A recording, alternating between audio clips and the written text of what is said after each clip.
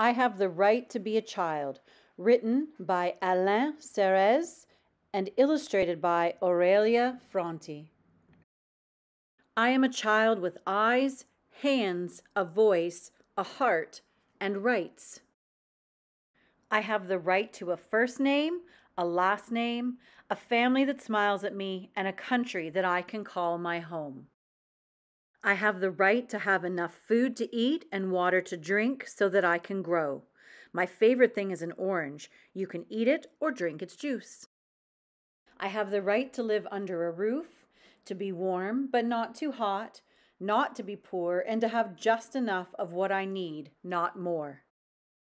I have the right to be cured with the best medicines that were ever invented and to run and jump and climb and shout. It's so wonderful to feel good.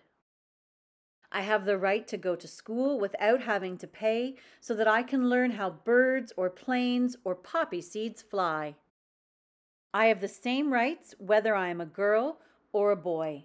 Boys and girls love to sing the same songs.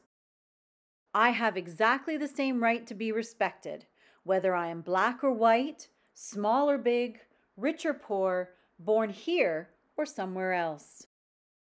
I have the right to be helped by my parents, my friends, and my country if my body doesn't work as well as other children's. I have the right to be free from any kind of violence, and no one has the right to take advantage of me because I am a child. No one. I have the right to go to school and to refuse to go to work. I'll choose a job when I've learned everything I want to know. I have the right to be protected by adults and to be sheltered from disasters under a great big umbrella, whether there's too much rain or because of other sad things. I have the right never to experience the storm of war or the thunder of weapons. I am afraid of guided missiles and smart bombs.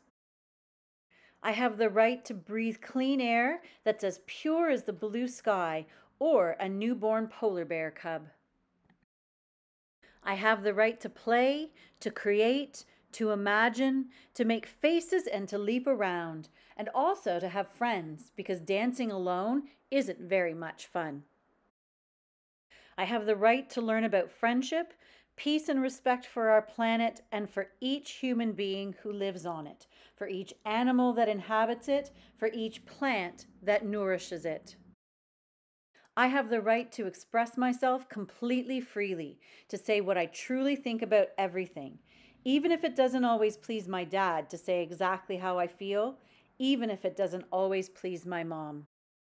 I have the right to all these rights just because I am a child, especially if I live in one of the 193 states in the world that have agreed to the Convention on the Rights of the Child. When will all children everywhere really have their rights respected? Tomorrow? The day after tomorrow? In 20 years? We need our rights to be respected now, today, because it is right now, today, that we are children.